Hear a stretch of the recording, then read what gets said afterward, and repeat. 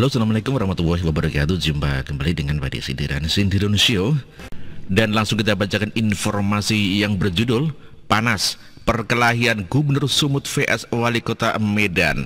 Edi mengatakan Aku gak peduli siapa Bobby. Aduh, nangtang nih Pak Gubernur. Hubungan antara Gubernur Sumut Edi Rahmayadi dan Wali Kota Medan Bobby Nasution yang merupakan mantu Presiden Jokowi saat ini sedang panas. Kerenggangan terjadi terkait dengan lokasi karantina penumpang yang tiba dari luar negeri yang masuk ke Sumatera Utara. Panas perkelahian Gubernur Sumut vs Wali Kota Medan menantu Jokowi seru. Demikian uh, tulis Gus Umar Hasibuan melalui akun Twitternya. Gus Umar menyebut kalau gubernur membuktikan kalau dia memiliki kapasitas melalui jabatannya hingga tidak peduli kalau faktanya Bobi merupakan menantu Presiden Joko Widodo. Gubernur Sumut bukan gubernur kaleng-kaleng dia bilang Aku gak peduli siapa Bobby Demikian uh, tulis Gus Umar Seperti diketahui Bobby Nasution sempat melontarkan bahwa dia tidak tahu terkait dengan lokasi karantina bagi mereka yang baru tiba dari perjalanan luar negeri. Diketahui Edi Rahmayati meminta pihak Pemkot Medan dalam hal ini Wali Kota Medan Bobin Nasution jangan bikin marah dirinya terkait lokasi karantina WNI dari luar negeri yang tiba di Sumatera Utara. Sebelumnya Bobi Nasution menyayangkan sikap Pemprov Sumut yang tak mau berkoordinasi dengan pihaknya terkait lokasi karantina WNI dari luar negeri yang tiba di Sumut. Bobi Nasution mengaku tidak diberitahu oleh Pemprov Sumut soal di mana lokasi karantina bagi WNI dari luar negeri yang tiba di Sumut. Ada yang teriak-teriak di medsos wali kota tidak tahu. Loh, emang Tuhan maha tahu ungkap Edi saat membuka rapat koordinasi penanganan COVID-19 di Sumatera Utara. Dalam rakor itu turut PLT Kepala Dinas Kesehatan Medan Samsul Nasution Kemudian Edi meminta Samsul Nasution agar dapat memberitahu Bobby di mana lokasi karantina yang telah ditentukan Pemprov Sumut. Kamu beritahu itu, jangan bilang nggak tahu lagi lama-lama marah aku ini. Tak ada urusan sama aku, itu siapa dia? Jangan bikin aku marah. Kalau aku marah gak peduli, aku siapa dia? Demikian tegas Edi.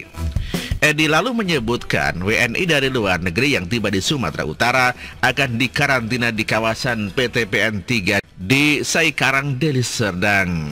Untuk itu Edi meminta semua pihak dapat bekerja sama dalam penanganan COVID di Sumatera Utara. Demikian kata Edi. Ya, seperti diberitakan Gubsu, Gubernur Sumatera Utara, ya Edi Rahmayadi Gram, karena Wali Kota Medan Bobi Nasution merasa tidak ada koordinasi terkait lokasi karantina WNI dari luar negeri yang tiba di Sumatera Utara. Bobi kembali merespon. Bobi awalnya menjelaskan soal hotel di Medan yang digunakan untuk karantina. Bobi awalnya mengira tidak ada lagi hotel di Medan yang dipakai untuk karantina, namun ternyata masih ada. Ya itu makanya kemarin, kemarin itu kami menanyakan di mana karantinanya. Dikatakan kemarin per tanggal 1 Mei yang di hotel sudah tidak ada. Cuman kita cek rupanya masih ada begitu. Kemarin saya langsung dengar via telepon Pak Gubernur dengan Dinas Kesehatan mengatakan tanggal 1 kemarin sudah sebenarnya tidak ada di hotel. Tapi kita cek di lapangan masih demikian kata Bobby saat meninjau pusat pasar Medan. Bobby mengaku dirinya hanya ingin diikut sertakan dalam penanganan WNI dari luar negeri yang dikarantina di wilayah Medan. Nah ini yang sebenarnya kami pertanyakan. Dan kalau kita bukan mau apa-apa Kalau itu memang masih Ya ada WNI dari luar negeri yang terkarantina Izinkan juga personel kami untuk membantu. Membantu yang ada di hotel-hotel. Karena apa tadi? Ini keluarga WNI yang datang di hotel kan Gak mungkin dihalangi untuk ketemu keluarga. Demikian tegas Bobby Kan nggak mungkin nanti keluarga ada di dalam satu hotel, ada seratusan WNI. Kalau semuanya satu-satu keluarga, dua orang datang saja, dua kali seratus, udah 200 dalam satu hotel saja. Nah, ini bagaimana protokol kesehatannya? Nah, ini biarkan petugas kami yang ikut membantu. Petugas kami juga ikut menjaga prokes itu saja, tak lebih demikian kata Bobby. Ya, perseteruan antara Bobi dan Edi Rahmayati berawal saat uh, Bobi melayangkan protes karena Pemprov Sumut tidak melibatkan Pemkot Medan dalam pembahasan lokasi isolasi WNI di Medan. Lokasi karantina ini terbesar di lima hotel dan beberapa kantor milik Pemprov Sumut yang ada di Medan. Ini karantina adanya di Medan dibuat. Memang WNA di Deli Serdang dekat bandara.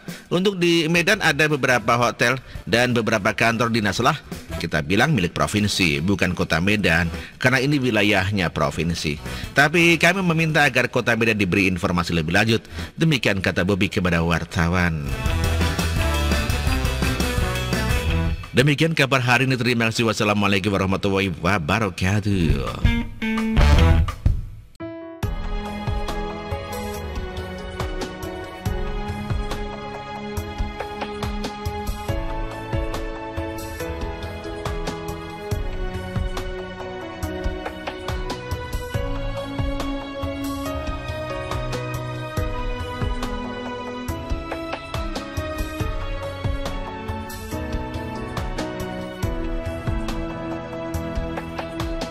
Bersih, jujur dan merakyat. Berbuat demi masa depan kami. Sosok pemimpin tegas pemberani